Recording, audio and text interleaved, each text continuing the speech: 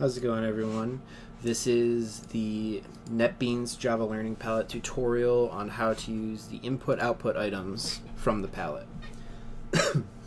the first item is extremely easy. It's send text to console. You just drag it in.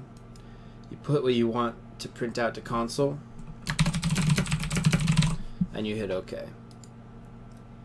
And it generates a print command if you're unfamiliar with the syntax. Also, I should note, uh, there's a command in NetBeans that makes it very easy to do this on its own. If you're, if you need to use this item, you may as well learn this at the same time. You just type SOUT and hit tab, and then it generates the print command, and you type whatever you want in there. And that's pretty easy. Aside from that, there's a slightly more complicated item which reads text from the console and stores it in any variable type and name that you want. So you drag it into the code, type comments, and you choose the integer, uh, the variable type. I'm going to choose an integer. I'm going to call it my int. And this item also smart comments itself, and I'll show that now. So if you hit OK, this seems like a lot of code at first. Also, if you don't have the scanner item, it will ask you to import it. You just hit OK. So, I said this smart comments. This comment at the top is generated and it explains exactly what the code below it does. It scans the neck for the next user input of the integer type and stores it in the myint variable. And this will update no matter what you call it and no matter what data type you put in. So I think that's pretty handy. And then at the end, for further clarification, is your specific comment. So to explain what the code is that's generated, is it creates a scanner object that scans the system input. It generates the, the variable type with your name that you put in. In this case, it's myint.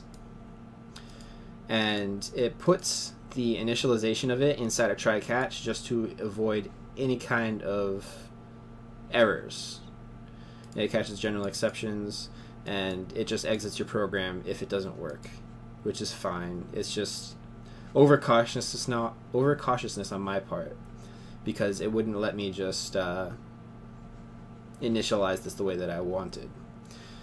So you don't have to worry about this throwing any kind of errors when you're utilizing it is basically the point that I'm getting at. It's very user friendly.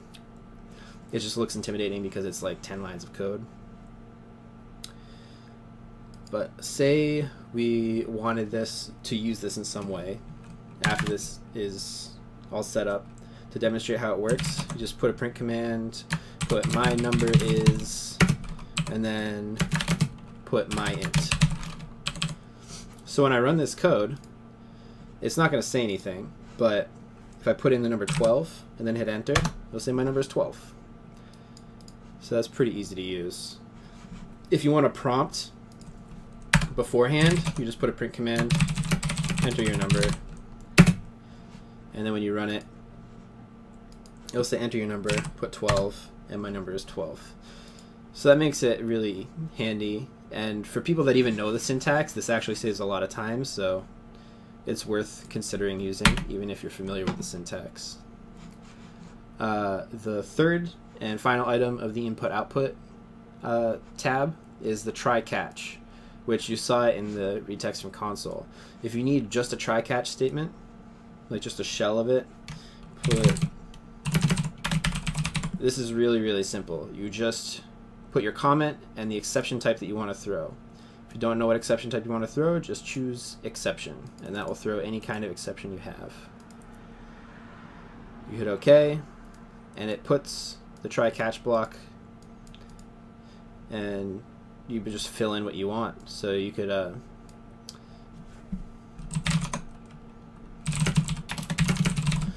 obviously that's not going to throw an exception, but anything that would throw an exception or you're anticipating throwing an exception in some way, you can just drag that in and fill it in the way that you want. And obviously when you catch an exception, you're going to want to print stack trace everyone does, but then you could specify what type of error by printing it to the console. And that's about it. So yeah, that's it for the input output tutorials on the NetBeans Java Learning Palette.